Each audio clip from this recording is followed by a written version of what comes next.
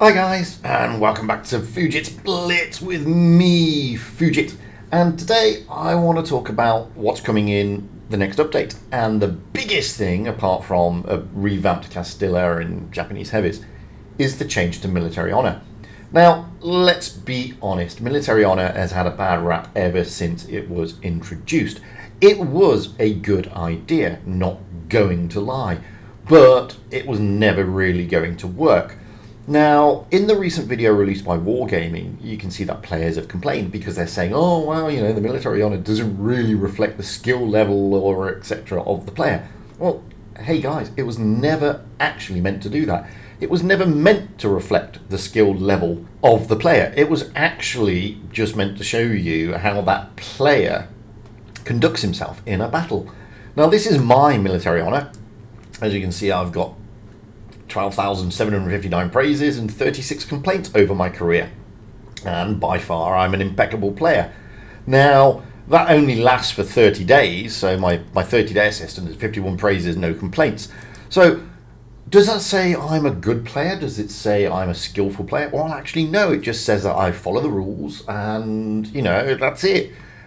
And that's what makes me a compatible player. Now, if you read what it states in the descriptions, an impeccable player is an ideal player who complies with the rules, supports and inspires allies in battles, bravely fights the enemy and behaves adequately. Just says nothing about he's a 70 percenter, he knows everything, he's brilliant. So it was never meant to reflect your skill level, just your well, your ability, as in, are you a good, are you a nice player in the battle? Simple as that, nothing more. And as you can see, it goes impeccable, trustworthy, disciplined, undisciplined, untrustworthy, and absolutely untrustworthy. Now, if you look at absolutely untrustworthy, the description is a player who systematically violates game rules and receives penalties related to different complaints, such as offensive behavior, provocations, unsporting conduct, inactivity, etc., etc. That's got nothing to do with the player's skill. That's that's the way he handles himself, and that is the thing. So there's a lot of misunderstanding of military honor. Now, don't get me wrong, I'm not a big fan of military honor, but for reasons that will become apparent, I've never had an issue with the praises except for lucky player. I mean, what is lucky player? It's nonsensical. It doesn't make any sense whatsoever. I've always liked sociable player, team player, effective player, and worthy opponent. I think they are good and they really do go forward and sort of say, this guy is pretty, pretty nice. My biggest issue has been with the complaints, okay? Because they're always going to be abused, and abused they have been. There will be times in a battle where you'll think that, you know, one player on your team, for example, could have done a bit more. So the chances of being told off or reported for being inactive is, is, is increased. Same with the unsporting conduct people always spam. Okay, I mean, we're, we're not a community, unfortunately, that realistically police itself. And therein lies one of the problems that we have with our community because we've never been able to police ourselves. And the complaint side has always been open to abuse. However, however, getting a load of complaints only affected your your stars. Didn't affect anything else. It wasn't as a report. To actually get somebody banned or, or, or to be you know really told off. You physically had to write and submit a report via the wargaming customer service. And that's always been a good thing because then you've got a third party actually looking if the rules have been violated okay? And a lot of players couldn't really be bothered to take the time out to do it.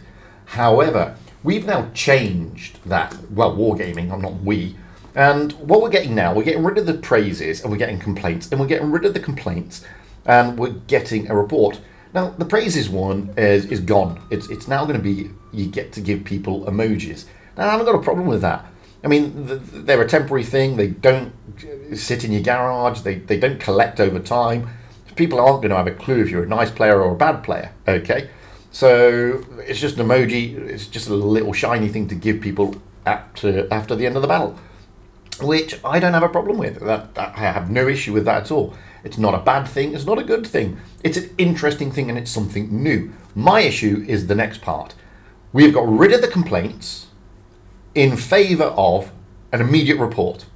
So at the moment the battle finishes, you can report somebody. Now, I, I think that's just absolutely open to abuse because, as I said, we, we haven't got the nicest of communities at the best of time, not the maturest of communities at the best of time. And, you know, there are times when you've come out of a battle and people have, report, have, have, have down thumbed you for no valid reason.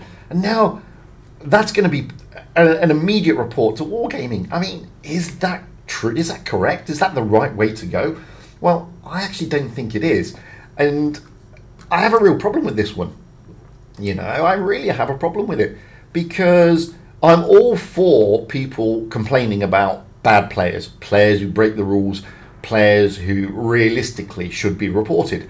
But I'm not into this straight after the heat of battle send send a report immediately straight away you know at the touch of a button Gone are the days when you had to sort of compile a complaint, write everything down, and send it all across. Those days have gone with this new system. It's just instant. It's an insta report. And okay, Wargaming are going to review it, but they're going to be swamped. I can't see this being better than what we've currently got. And personally, keep the emojis. Just get rid of the reports force people to still report in the proper way because this is, is going to make the system collapse. It's going to be just rife for abuse. And I guarantee you this when this first comes out, there'll be those amongst us who will use up all their complaints instantly just for shits and giggles. And all of a sudden, people are going to be, you know, under the cosh. Now, the thing about the report, you can't actually appeal them. Not really. Not really. There's, no right of appeal if you check the game rules. So, this, yeah, I, I think this is a bridge too far. But I will see how the system works myself. I will see if it's going to be a good thing or a bad thing. I think it's not going to be a great thing. I think we've taken something that was a good idea, i.e., military on it, was a good idea, good concept. It didn't work and we've changed it to something that, okay, the praises side, which is the good part of the game, we're just getting rid of that and everybody's got an emoji. And the complaint side, which has always been abused, which everybody had a problem with, we're just going to streamline it into a report so everybody can abuse it even more.